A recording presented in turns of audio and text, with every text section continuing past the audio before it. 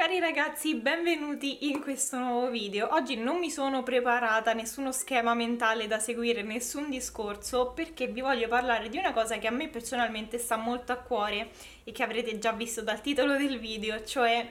non dovete provare i tester sul viso nei negozi. Mi spiego meglio. Quando vado in profumeria, quando ho lavorato in profumeria, Ovviamente i tester dei prodotti di trucco che erano in profumeria venivano provati direttamente sul viso e sull'occhio e sulle labbra della persona che andava magari a, a comprare il prodotto. Ora, in questo video, spero breve, anche se i miei video non sono mai brevi, voglio spiegarvi del perché non dovete farlo e di come invece potete fare a provare i prodotti e a capire se vanno bene per voi. Iniziamo un attimino um, dal pensare a cosa subiscono i tester. I tester sono dei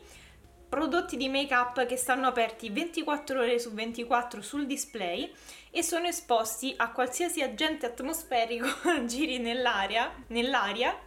a qualsiasi persona ci passi intorno, a qualsiasi starnuto di persona che non si metta la mano davanti, a qualsiasi di persona che non si mettavano davanti sono soggetti a mani sporche, a gente che va in bagno e non si lava le mani. Probabilmente penserete che sono esagerata, ma voglio essere esagerata, nel senso voglio farvi capire che non dovete provare quei prodotti sul viso perché non va bene, non va affatto bene. Ma no, non perché lo dico io, semplicemente per salvaguardare il vostro viso, i vostri occhi e le vostre labbra in generale diciamo la vostra pelle senza che ripeto tutte le volte queste tre cose. Eh, sono prodotti che vengono provati su mani sporche da persone che girano probabilmente da una giornata intera nel centro commerciale che hanno gli animali dietro quindi mi viene da pensare non so che se una, una persona è allergica a un cane e la, cioè, il tester è stato toccato da una persona che un secondo prima ha carezzato un cane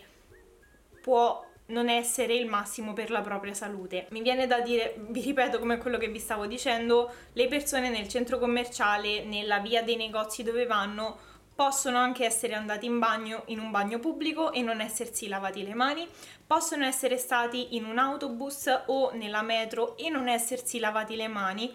e se pensiamo a quante persone toccano i manubri della metro o dell'autobus di quante persone zozzissime toccano quei, quei, non mi vengono manubri, insomma, come si chiamano, sono tutti batteri e sporco che si trasferiscono da una superficie alle mani delle persone al prodotto di make up che poi proviamo direttamente sul viso. Questo non va affatto bene. Senza calcolare che quel prodotto di make up che voi state provando sul viso può essere stato provato un secondo prima, come un giorno prima, da una persona che magari non cura benissimo la propria igiene,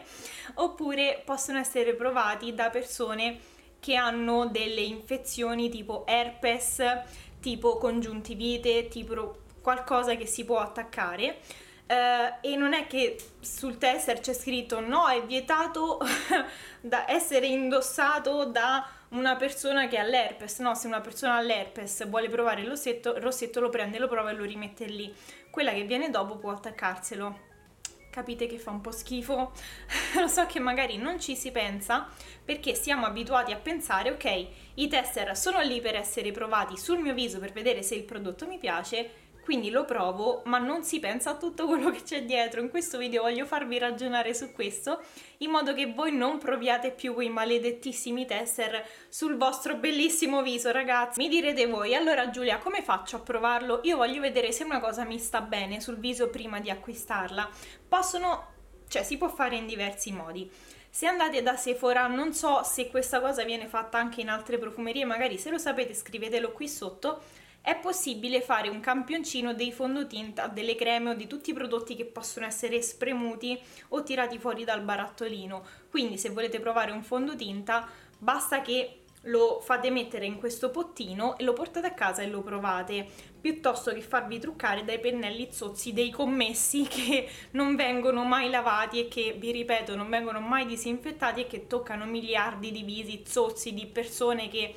magari stanno fuori tutto il giorno con 40 gradi, sono sudatissimi, vanno lì, si fanno spennellare sul viso un po' di blush e poi quel pennello tocca il vostro viso e magari voi prestate tanta attenzione a pulire, a truccarvi con le mani pulite, andate lì e tutto il vostro lavoro praticamente viene annullato. Un'altra cosa può essere che chiedete se è disponibile in negozio un campioncino di quel prodotto. So che è difficile, però generalmente quando viene lanciato un nuovo prodotto, specialmente una crema o un fondotinta, è possibile che il marchio ehm, spedisca al negozio dei campioncini per appunto farli provare alla clientela e spingere a comprarli. Quindi potete chiedere se è disponibile proprio un campioncino chiuso che manda il marchio in negozio. Se non dovesse esserci tutto questo, potete uno andare in negozio con il viso struccato e per tutti i prodotti che vengono spremuti dal barattolino, quindi le persone non possono infilare la mano direttamente dentro, potete prenderli e non spalmarli su tutto il viso, ma provarli magari un po' qui sulla mandibola, esempio fondotinta, esempio correttore. Per quanto riguarda invece le polveri o i rossetti o le matite, io non vi consiglio di metterli sul viso, magari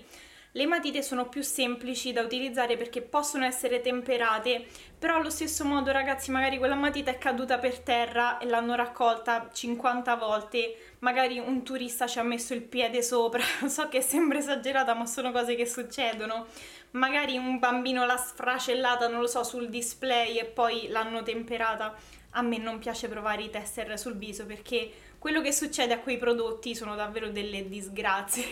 non potete neanche immaginare che cosa succede a quei prodotti se non lavorate in un negozio appunto che sia una profumeria. In quel caso vi consiglio di provarli sempre qui sulla mano, quindi prendete il vostro prodotto, lo provate sulla mano, vedete se come scrivenza, come pigmentazione vi piace, parliamo di matite o di rossetti, per vedere se può star bene con i vostri colori di occhi, con il trucco che fate solitamente se vi piace il rossetto abbinato al resto del viso, basta che avvicinate la mano al, al viso, vi guardate allo specchio e provate a immaginare come quel colore sta sul vostro occhio o sulle vostre labbra, in questo modo non andrete a provare il prodotto direttamente sul viso. Invece per quanto riguarda le polveri possiamo fare la stessa identica cosa, cioè prendere una polvere con il nostro ditino che se si sporca non succede niente, non è come magari metterlo sull'occhio, non è sensibile o delicato come la zona del contorno occhi,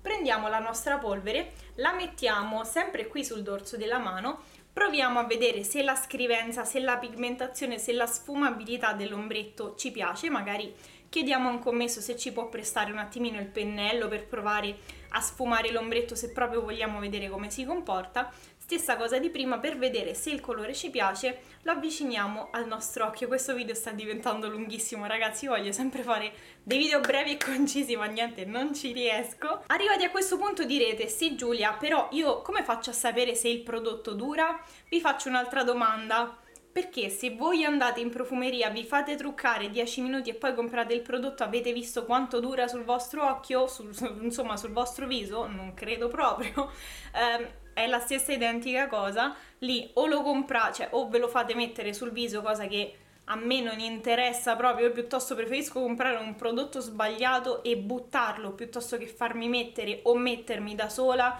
un prodotto che sta lì sul display sul viso. O, o in ogni caso cioè, lo provate, lo, lo comprate, lo provate a casa e vedete se vi piace, ma avendolo già testato sulla mano riuscite a capire tantissime cose di quel prodotto che diciamo sono le stesse che capite se vi fate truccare eh, da, da, un commesso. In molti negozi, in molte profumerie, ad esempio se penso alla Gardenia, fanno il servizio trucco sposa, vabbè che per me è assurdo, però lasciamo stare. Eh, in Sephora fanno i servizi di make up o anche da Gardenia credo fanno le lezioni di trucco. Da MAC anche vi truccano, credo, se non ricordo male, il giorno del vostro compleanno avete un trucco gratis, qualcosa del genere, ma vi truccano sempre con i tester nel negozio e con i famosi pennelli che hanno lì nella taschina e che, vi ripeto, non sono proprio pulitissimi. Quindi non capisco perché andare a pagare un negozio di trucco e dover andare voi lì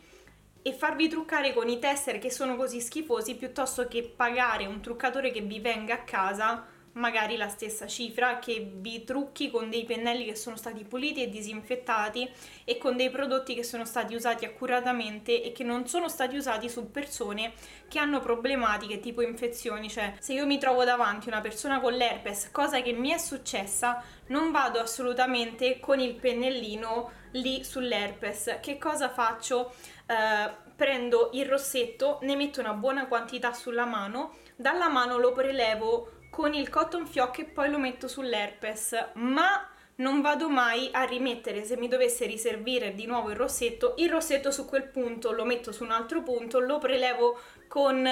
il mio cotton fioc e lo vado a mettere sulla persona. Se la persona dovesse avere un'infezione agli occhi, io mi rifiuto di truccarla perché potrebbe compromettere tutto il mio kit di trucco e capite che non è una cosa che voglio. Non voglio che il mio trucco diventi tipo un batterio gigante ad andarlo a diffondere tra tutte le persone che trucco. Io ci tengo alle mie clienti, ci tengo alle persone su cui metto le mani, quindi assolutamente non lo faccio. Questo video è terminato qui, io spero che dopo aver visto questo video